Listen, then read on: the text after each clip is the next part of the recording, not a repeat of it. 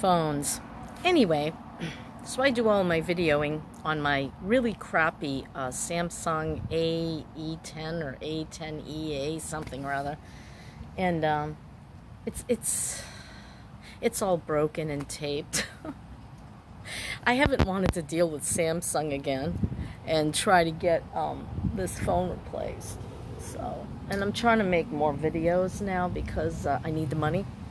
And um, so, what I'm doing is, uh, oh, yesterday I wanted to tell you about my amazing adventure to pick up that new engine. It's not new, but it's uh, got 123,000 miles on it. I know, I know. Whoa. This is why I never like to use this is my old selfie stick that Maggie bought me for my first videos, but every time I tried to use it, it would just like fall over because it's very flimsy. So I bought a nicer one, but I think it fell under the bed and I haven't been wanting to retrieve it. Mm.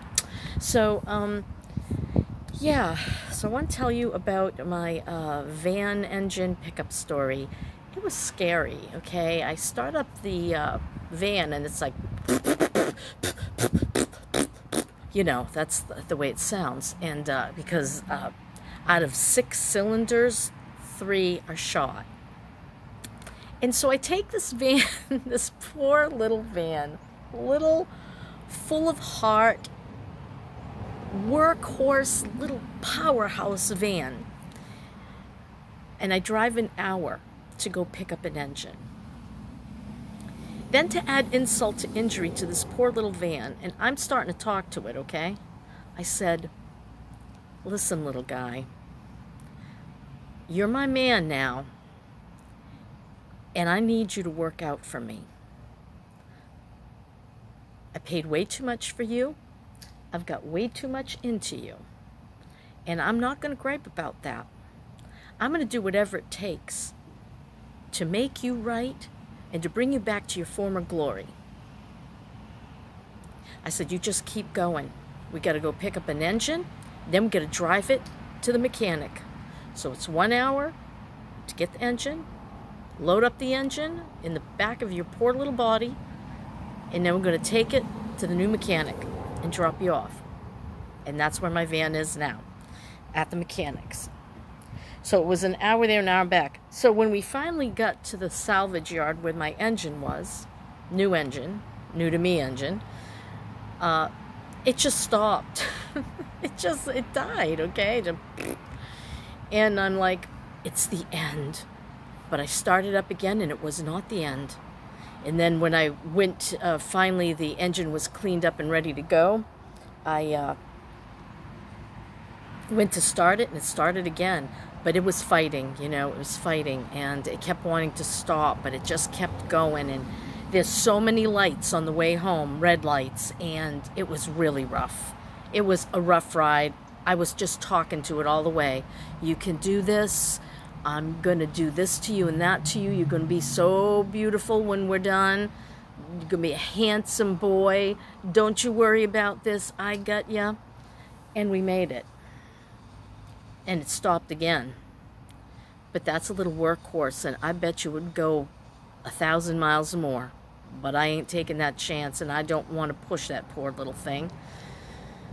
So a decent engine's going in it, and it has a 90-day warranty, though I don't know what I'll do if that one, you know, goes kapooey. I don't know. So I'm hoping for the best. And I'm going to embrace and accept my challenges. There's no other way.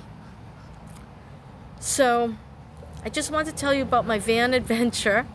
Got my engine. I'm a happy girl. And uh, it should be done in four or five days. And I may take it on an excellent adventure. Uh, I'll have my AAA card ready to go and uh, I get uh, four 100 mile tows. I didn't get the 200 uh, because the it made more sense to get 400 total miles tow, but of course you can only do one at a time. So I might like take a 100 mile journey and uh, then 100 miles back and see how it runs and how it is doing. And I may do that several times before I head out on my grand adventure. Now, Bonnie wants me to come up to North Carolina to see her new apartment. She would just love if I could come. So I think that's going to be part of my grand adventure before I go broke. And uh, yeah, why the heck not? I get a few other things I can sell. I kept back some things that uh, Dennis left me and uh, see how that goes. That's my story, and I'm sticking to it. Now I got to call my daughter Rachel because she just called me. I saw it up on the screen, and uh, you know I've been very worried about her. I, I love her with all my heart, and I just want her to be all right. Yeah, she's having more health problems, you know. Talked about her heart attack. So that's my story, and I'm sticking to it. I love you all. I love those of you who have compassion for me and care about me and want to hear my story. And that's why I'm here. I'm here for you. I'm here so that you can know no matter what happens to you, never give in and never give up. Bye.